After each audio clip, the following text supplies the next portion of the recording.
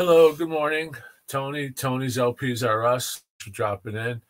I've got another one of my series of uh, LPs that I have in my collection that are always in rotation in the goodie box. And this is volume three. This is a little different. It's heavy rotation of OG LPs, but it's only one song that I usually play out of these out of these albums. I'm a I'm a purist. I'll play. I don't like really like great hits. I rather the uh, song in its original uh, content, which is within uh, with within the context of an LP and the and the the way that the artist had intended it to be heard, um, and that flow usually with concepts out concept albums as well. And I like deep cuts, which you don't get on greatest hits, and also usually with the uh, with the original album, um, you're going to get the uh, you know the best mastering. Usually, it's from the original uh, analog tapes, uh, especially if it's an OG pressing. So I don't really go for uh, greatest hits, but I do have greatest hits in my collection. Uh, first one up that's in heavy rotation, but I only play one song for the most part, and that's the Survivor album, "Eye of the Tiger." That's a great album. It's, you know, uh, Eye of the Tiger was the theme of a Rocky movie. And this album is just uh, as the original Inner. This album, Eye of the Tiger, it's a different mix from the single. The drums are out there. It's so well, so well mic'd. So if you get a chance, uh, pick these up. Uh, these aren't too expensive anymore. And this is uh, produced by Frankie Sullivan, Jim Peterik, I the Tiger, first track. So it sounds really, really good. So this is what I usually play from this LP. Another one, which is the greatest hits, ironically, but it's the one I pulled out. The uh, RCA greatest hits of Lou Reed, Walk on the Wild Side. And that's a, that's a, this was a Best Buy issue. So this is a budget pressing. But let me tell you, this album sounds fantastic. And I usually just play uh, Walk on the Wild Side for people. It's demo quality. Uh, the way it's mixed and the way the uh, back singers come are, are mic'd up and come up and pass behind you. So this is what I usually play in this. It's all it's all good though. You have Sweet Jane, White Light, White Heat, Sally Can't Dance, Coney Island Baby. Of course, I'll play this album it's in its entirety, but I usually just play Walk on the Wild Side. Here's another one of my favorites. This is a, a green Warner Brothers. You can see the original Warner Brothers uh, old inner. And this is Ides of March Vehicle. And I just usually play Vehicle, which is the uh, the hit on this. This is just a fantastic album. This this also includes a um, a fabulous version. Let me see. Just bear with me here. I'm getting reflection of wooden ships and sympathy sympathy symphony for Eleanor Rigby. So I usually just play for people that stop by want to hear something really wild. You know, it's different mix from the single vehicle. And then there's also a great jam on Wooden Ships to Crosby, Stills and Nash uh, record. And that's the uh, back of this vehicle, Ides of March, super green Warner pressing.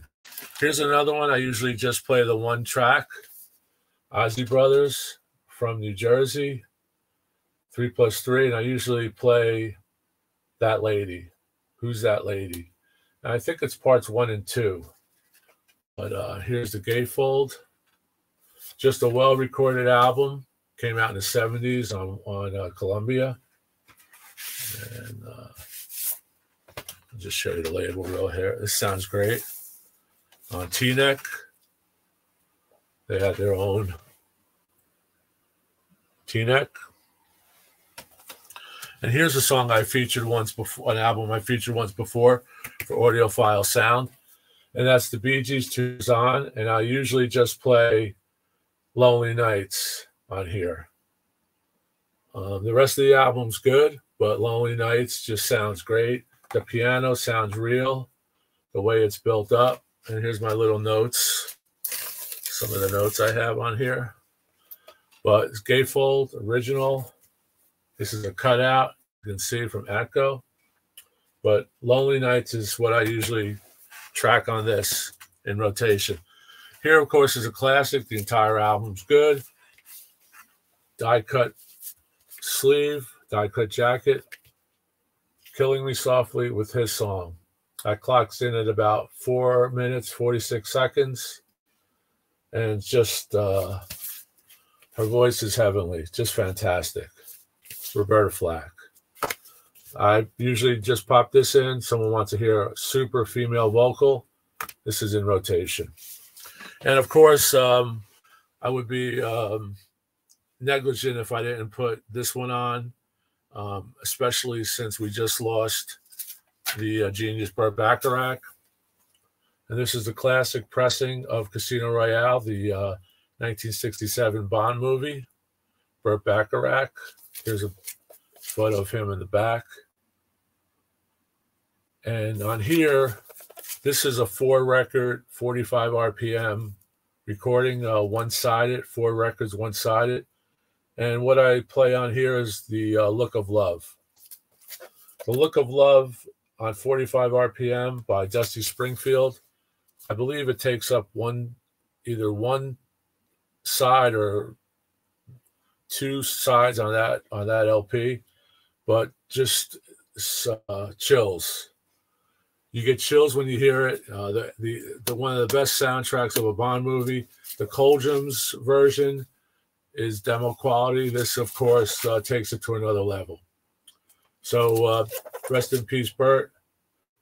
And uh, you know this is just unbelievable with Herb Alpert and the Tijuana Brass, and that's the spine. So this is a uh, this is the collector's edition, and I believe these tapes were destroyed in that famous, uh, infamous fire where uh, tapes and acetates and test pressings and what have you were all burned. And I believe the Casino Royale tapes were in that. So this is the best uh, next to a, a master reel to reel.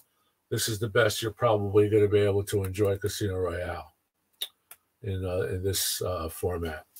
Uh, and of course, my feature every day I try to feature an album that's an OG pressing for my collection but has audiophile properties, sonics, content, pedigree, and that's um, Blue Oyster Cult, Agents of Fortune. I'm always playing Blue Oyster Cult, Agents of Fortune, and of course, I always play on this one, Don't Fear the Reaper.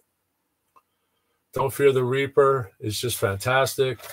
Uh, Shelly Yakus and Andy uh, Abraham are the uh, recording engineers and I believe Shelly has a, a, uh, little documentary just on "Don't Fear the Reaper" track on YouTube. It's uh, I've seen it a few times. He's famous. He's a famous uh, recording engineer.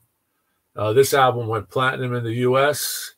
It went gold in Canada. It was released in uh, May of 1976, uh, 21st, from Columbia Records and it's just uh, just fabulous. Platinum U.S. and it reached uh, number 12 on Billboard 100. Blue Oyster Cult, Don't Fear the Reaper, demo quality all the way through, audiophile sound with a regular pressing. So I usually just play Don't Fear the Reaper, but this whole album has audiophile quality and uh, it's just a, a gem. It's just a gem, and that's it. Here's the the uh, LP. That's the uh, first issue. This is in really nice condition. I've had this record since 70, 76, 77. And uh, if you if you take care of your equipment, if your stylus is always uh, up to snuff, clean your records. You know, don't don't bring them to parties. Don't get don't lend them out. You'll uh, your records will last forever. They'll outlast uh, all of us. So that's it. Um, just what's in heavy rotation and seven LPs that I usually only play one track, and I name those tracks. Uh, thank you. Hope you enjoyed this segment. It's a little different, and uh, leave your comments, and uh, please uh, help us out subscribing, and uh, you'll be notified. We're going to try to do one of these every day or so. Okay, thank you. Keep rocking. LPs R Us are out, and stay safe. Thank you. Bye bye.